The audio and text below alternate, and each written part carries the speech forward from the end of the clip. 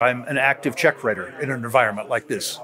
The fact that we've seen uh, reasonable moves in commodity prices, both precious metals and industrial materials, without a concomitant move in the equities, uh, tells me that the equity markets, from the point of view of a speculator, a patient speculator, uh, that this is a good time to be deploying.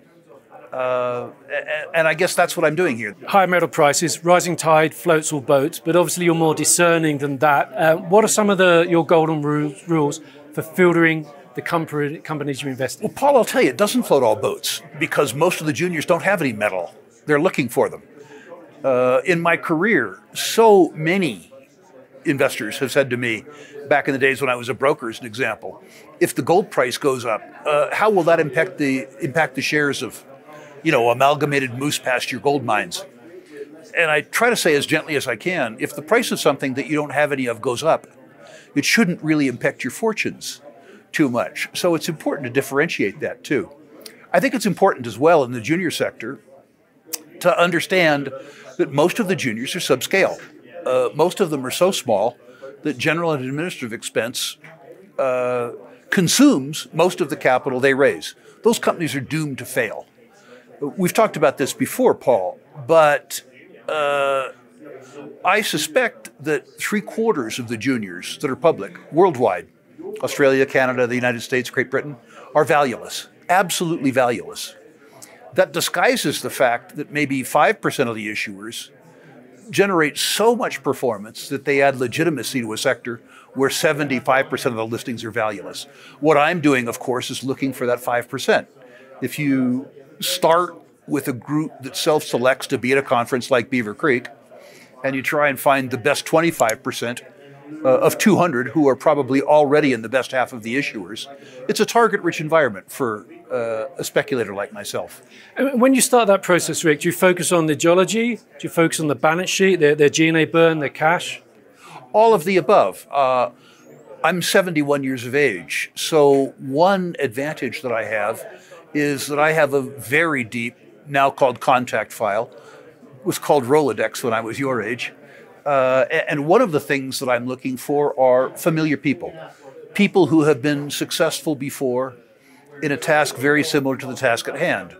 Or I'm looking for a strategic investment by somebody who I have co invested with in the past. So for me, uh, I, I guess it starts with people. So it's the, the power of networks. Yeah. I mean, I want somebody to be a demonstrated success, and I want their, their prior success to be applicable to the task at hand. Someone comes to me and he says, Well, I was successful. I operated a gold mine in Archean terrain in French speaking Quebec. But the task at hand is exploring rather than operating for copper gold in tertiary volcanics in the Peruvian Altiplano, Spanish speaking. The success isn't necessarily germane to the task at hand.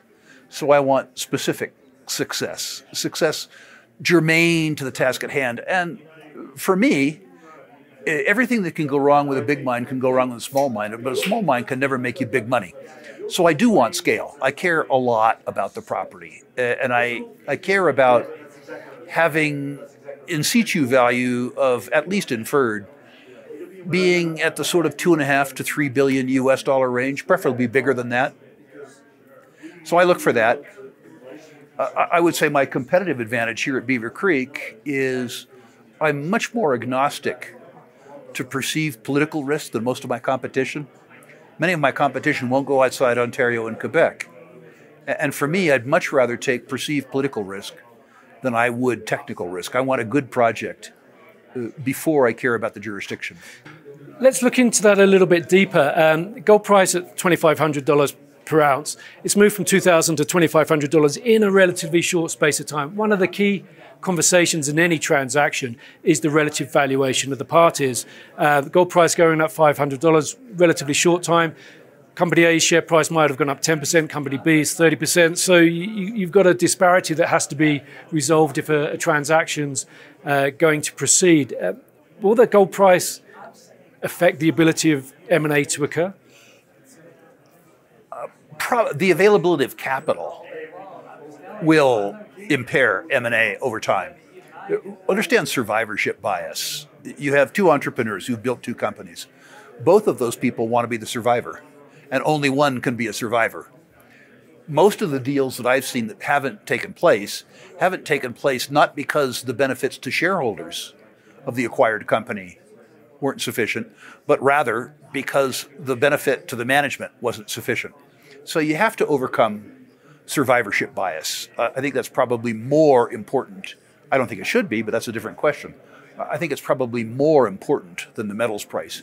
Uh, if if companies have the ability to access capital on terms that they consider to be reasonably attractive, they have no incentive to participate in a merger. So I think it's important that you understand management incentive in the context of G&A. There will be situations where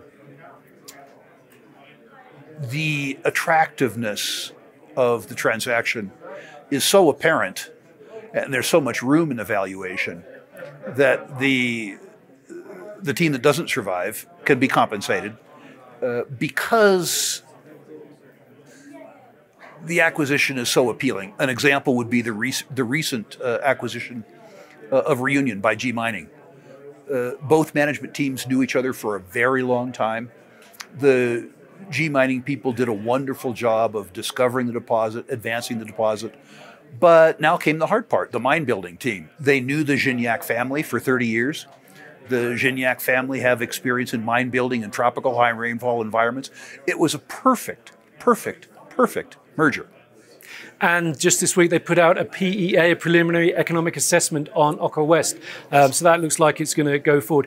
Are there any who, who, would you say are the prime candidates for M&A? What, which are the deals that you know are crying out to be to be made if everything else being equal? Well, since we're in Guyana, uh, the other part of the Oko West deposit G2 Goldfield is G2, yeah. uh, and the G2 guys, high quality people, high quality deposit. Uh, if it isn't one deposit, it's certainly one mineralized event. Uh, so the most obvious thing that I can see out there is uh, obviously G2 um, into something uh, involving their next door neighbor.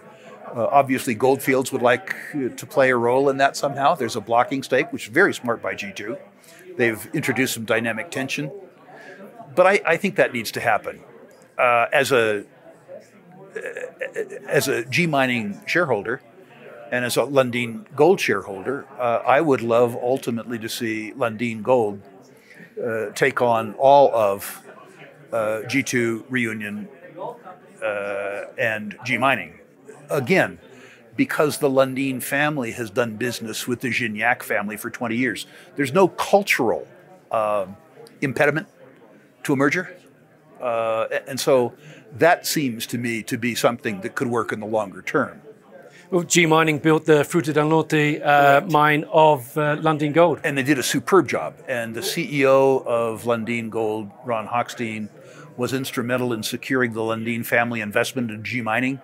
So there's history. Yeah, there, there's a lot of history, and, and, there's a lot of potential for synergy. That that, and I'm not trying to say that I have any information that it might occur, but if we're allowing ourselves to fantasize, uh, you take uh, Lundin Gold in that circumstance, or whatever the resulting company would be, uh, to two tier one deposits with uh, global production in excess of a million ounces in the bottom cost quartile worldwide, in the highest return on capital employed worldwide. It would be a very formidable, very formidable com- company. Lundin Gold's in a very interesting position at the moment. It's a single asset gold producer.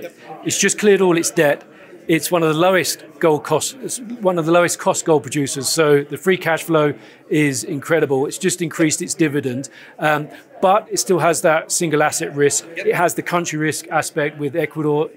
Diversifying would be a good thing for it, but with such a high grade asset, where does it turn? Well, I think it'll be, as you would suggest at the beginning of the discussion, uh, is it accretive for Lundin or is it not?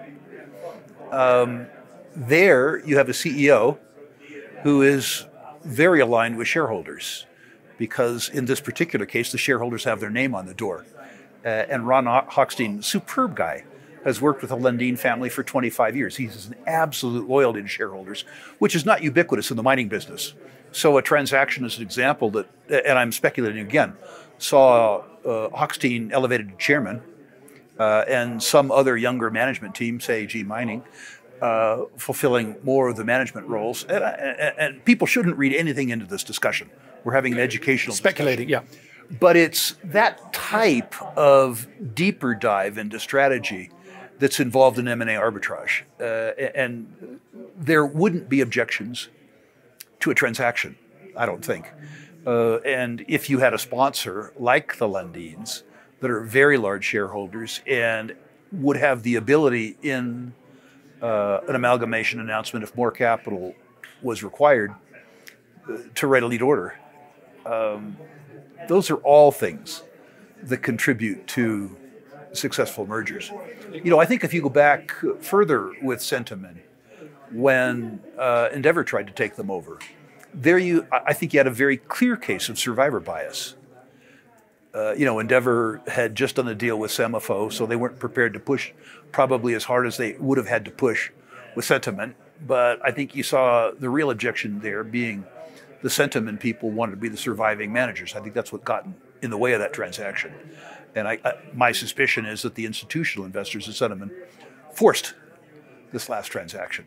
I think sometimes this can produce some very interesting results. I'm thinking back a couple of years to Kirkland Lake Gold yes. when they had to saw the moment to expand and they bought Detour Gold. So they come from a, a very high grade asset base to a, low grade disseminated. The market instantly hated that. In, in, the moment, it hated that, but that's proven to be a very, very good acquisition. It was a great acquisition. I think the problem that you had there is that the market was speculating that somebody was going to take over Kirkland. And the shareholders that populated the Kirkland shareholder base uh, hadn't anticipated that they were the, the acquirer or they were looking to receive rather than pay the premium. now, for me, that was very useful because I was able to be in the backside of that trade. Uh, and, uh, you know, that was lovely. When you have uh, a whole bunch of people that are exiting a trade for reasons of their own preference rather than arithmetic, that's a great place to be a speculator. Okay, now let's wrap things up, Rick. Um, how do you think the rest of the year will play out in the gold space? I think there will be some continued disappointments in the sense that investors look at the increased gold price and they think that producing company margins should expand very rapidly without understanding that the input costs have also escalated. Uh, energy costs have moderated, which is a good thing. But the social take, which is to say taxes, royalties, uh, off concession expenses, things like that, are increasing. I understand at about 15% compounded. Uh, labor costs are going up. The parts of spare price of spares is going up. Finished steel is going up, and I, think there will be continued disappointment among investors about the fact that the margins, the producing margins, aren't increasing as fast as one would hope, given the increase in gold price. So I, I think that there's going to be it's going to be a positive environment, but it's going to be tempered for the balance of 2024. My suspicion is in 2025, all other things being equal, it'll be a pretty good year.